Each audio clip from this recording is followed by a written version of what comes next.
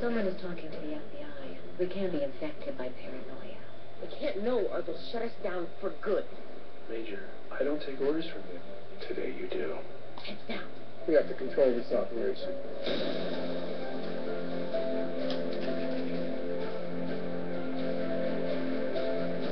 If you're just tuning in, see, a lot of my friends know me. To know me is to love me. You know? I mean, if you're just tuning into a few videos, what have what have not, like yesterday was a crazy show. And, you know, I got an itch on my eye here. Oh, Bengay's in my eye. Um, yeah, we'll put a little bit of Bengay on us today, uh, just to relax the muscles. You know, because it's been a long, tough winter here. If you were noticing me, you know, yesterday coming back, I, you know, I just gotta keep, I gotta keep the, the vibe up, you know. Um, there's a lot of good things I do. Not all of them are going to be great, but that's the reason why I do it. Practice. Practice makes perfect.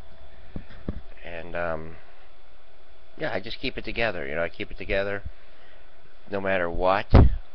Uh, like, all the stuff that I have to go up against because I um, think differently, I do things differently, I am differently, I'm just different. The first play I ever did was different. And uh, wish wish it can always be that way, you know, your first play, working with actors and everything. Okay, um, this stuff's good, by the way. Here, it's Foo Fighters.